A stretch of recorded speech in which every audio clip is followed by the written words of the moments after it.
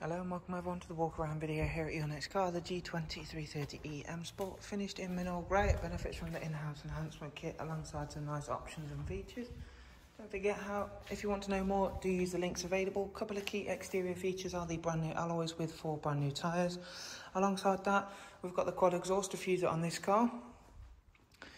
It also benefits from the rear privacy glass. So around at the back then we have got the rear spoiler paired up with the quad exhaust diffuser a reverse camera with front and rear sensors, nice big boot size with folding rear seats.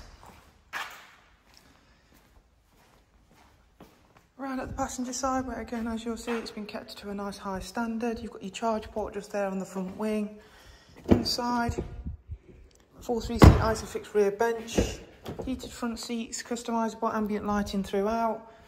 I'll show you around onto the driver's side, and again, I can take a seat in there and uh, go through one or uh, two more of the key interior features.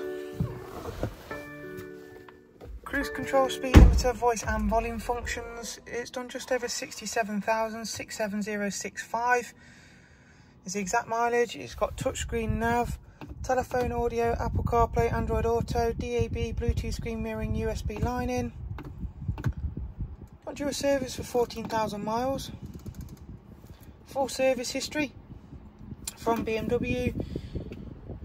Reverse camera, along with parking sensors.